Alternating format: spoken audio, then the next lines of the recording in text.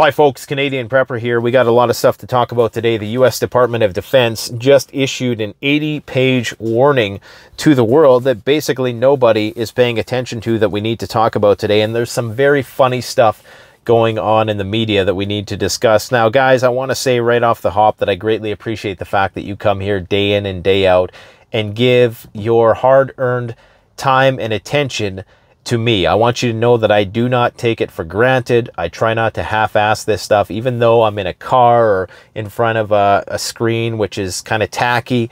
Look, we are working on doing a lot more high production stuff on the channel, stuff that we, we are accustomed to doing. It's been shelved for the last few weeks due to a variety of reasons. My audiovisual team is somewhat disbanded right now, but I don't want you to think we're resting on our laurels. We have a tsunami of high quality premium content, which is just geared towards general emergency preparedness, not talking about any of this current event stuff, because that is what's most important. Information is nothing without action, and we need to take action. Now, something very suspicious is going on with respect to the nuclear escalation that we're currently seeing in the fact that we're not hearing about it at all. You see, back during the Cold War, during the peak years in the medium range missile crisis of Europe, there were people protesting throughout that time. There was a lot of discourse about nuclear escalation, the potential for nuclear war. There was movies made out of it. Now we're at a point where we're arguably an order of magnitude at greater risk and there's literally crickets. There's no word of this in the media whatsoever. There are literally 100 data points right now that indicate that we're at the highest risk of nuclear conflict in history. We also have simultaneous exercises, nuclear exercises happening during a war in which the United States military now and the Russians are a spitting distance from one another engaged in a high intensity conflict on the European continent.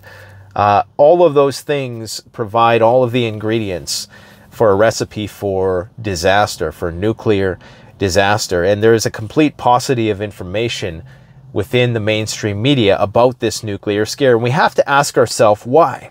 Because the media is always going to seize and capitalize on any sort of uh, threatening thing because it gets clicks, right?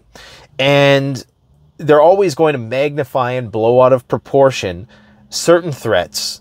Like, and typically the threats that they blow out of proportion aren't the real threats, right? They're going to blow out of proportion these things which are, you know, they're, they're definitely uh, risky, but they're not uh, nearly as apocalyptic as they make them out to be. Whereas real threats like we're facing now, they're oddly silent about and they minimize this. So why is this the case? You know, what would what would get more clicks right now than for the media to expose the nuclear attention that is going on right now? I mean, that there would everybody would be fixated on that issue, but for some reason they're not doing it. And I think I know why. It's because it is actually a real threat, and there's some sort of top-down processing going on here, which is really limiting the exposition of this issue. You're you're seeing it talked about in the more long form media content, like in the New York Times or or Newsweek. They pay a little bit of lip service to the issue, but not nearly enough. Uh, in fact, it's the farthest thing from people's minds. You, you really got to go down. If you if you go on to NBC or CNN or Fox News, it's really but a footnote on the page. It's very brief, and it's not because people wouldn't want to attend to something like this. The media selectively attends to whatever it wants to, it seems. And it seems like they are, for some reason, foregoing an opportunity to, to capitalize on this issue.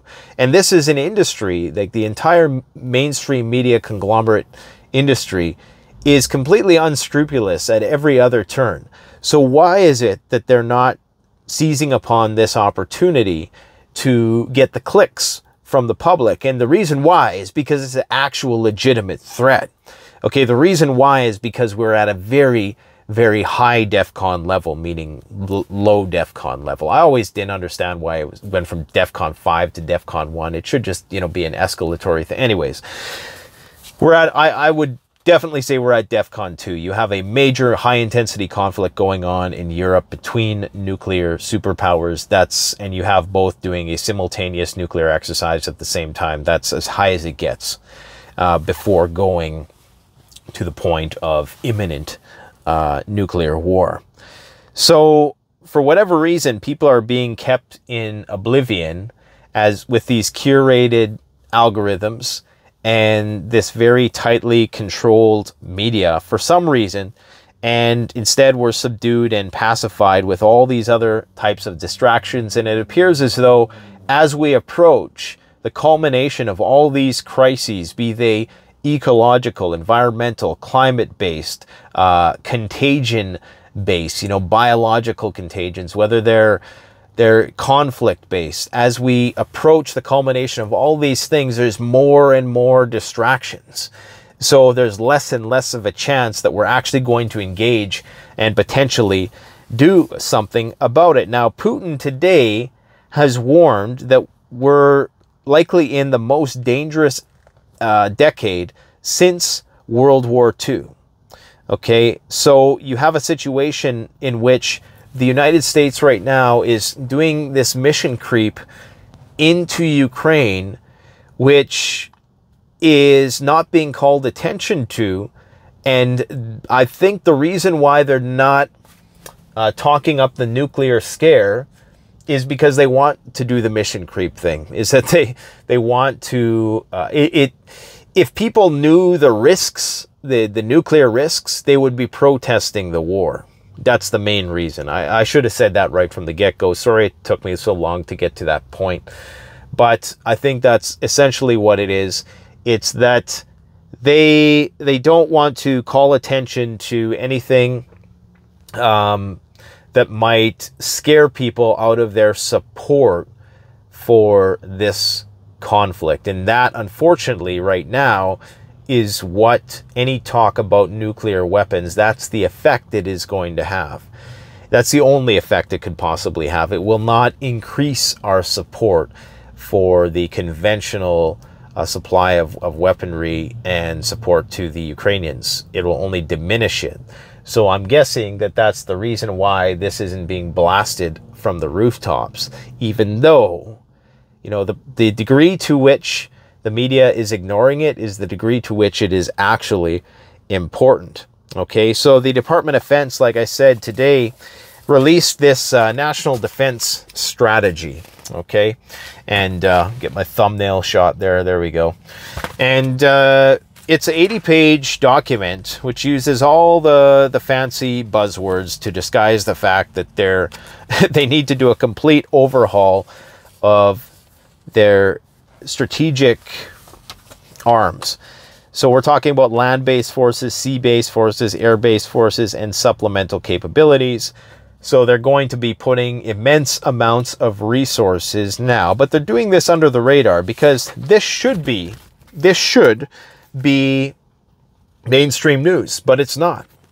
Okay, and uh, what this what this tells me is that they finally realized that holy crap, the Russians in particular have been for the last 20 years investing in modernizing their not only their uh, strategic nuclear arsenal but also their missile defense capabilities and that we are years behind where they are and that if a nuclear war were to happen today we would likely lose. And i know a lot of people don't like to hear that and a lot of people who are not aware and who are sold on this myth of American military superiority, in which they are superior in many ways. But when it comes to intercontinental nuclear conflict, they simply are not. We've gone over the many reasons as to why the US military is deficient in that respect, not in all respect. They have the best planes, they have the best aircraft carriers, best lots of things. But when it comes to big FU nuclear weapons, unfortunately, they're just not uh, world class anymore.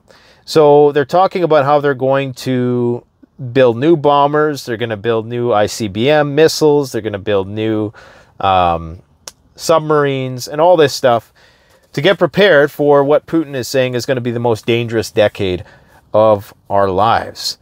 And when Lloyd Austin presented this at a press conference, he used the word acute many, many times that Russia was an acute threat to the US military. Now, again, you have them speaking out of two sides of their mouth because you say that the Russians are an acute threat to the United States. An acute strategic threat, meaning that there's a potential here that the Russians could wipe us off the face of the earth. At the same time, we're not hearing much about this at all in the mainstream media. And then at the same time, we have this mission creep into Ukraine. Now, some people took offense when I said yesterday that the 101st Airborne is going to be wholly ineffective against the entirety of the Russian army. And uh, like I say, maybe a lot of people don't understand the the nature of the high intensity conflict that is going on on the ground there compared to some of the campaigns that that this uh, division has partook in in the past. Obviously, you know, if you go back to World War II, it's a different story. But every time since then, it's been more low intensity. They've had a full spectrum dominance over the, the air and the sea. And this is an entirely different conflict. Okay, there's a light infantry unit. They don't have the the armor that they need to defend themselves. They they would be blown out of the sky if they tried to fly in there in helicopters or planes. So this this seems it must be symbolic, but I wouldn't put it past them still to try to some way work their way into Ukraine somehow. I think they're just sort of testing the fences right now to see what can happen. And now again, well, this national defense strategy is something which is projected out to the year 2027 in order to uh, modernize the strategic arms forces and beyond. This this is still uh, you know that that might make a person think that oh we have lots of time because they're not taking the threat that seriously. Well, I think it's it's more due to the fact that they're just scrambling to to catch up and that they have to do something. I'm not saying that the nuclear threat is imminent, but it's we're, we are at the highest risk that we've ever been at before, and I think I've beat that horse to death enough. So I would encourage people, if you missed my video that I did yesterday, go and check out this book uh, nuclear war survival skills. Make sure you get the 2022 edition. It's not waterproof and it's not built to withstand uh, nuclear war like the original one was, but it's going to get you all the information you need. Again, cross reference and uh, fact check everything and get different opinions. Remember, a lot of this stuff is hypothetical and we don't really know and understand the nature of modern uh, nuclear weapons. And again, guys, don't base your life around this stuff. Still go out, live your life. Uh, this is just but one of the many scenarios that we as preppers should be ready to endure. There are countless other potential ways that uh, our lives are going to be compromised in the not so distant future. Let me know if you've had a chance to look at the 2022 U.S. Department of Defense National Strategy. I'm going to do a more in-depth video breakdown of it in the near future once my AV team gets back on the payroll. And uh, yeah, we're going to take a deeper dive into this and we're going to bring on some guests who can maybe help us expound on this a little bit more. Thanks for watching, guys. Don't forget to like, comment, subscribe if you enjoy the video. And if you need any sort of emergency preparedness equipment, you can check out the link in the comment section below or in the description. Thanks. Bye.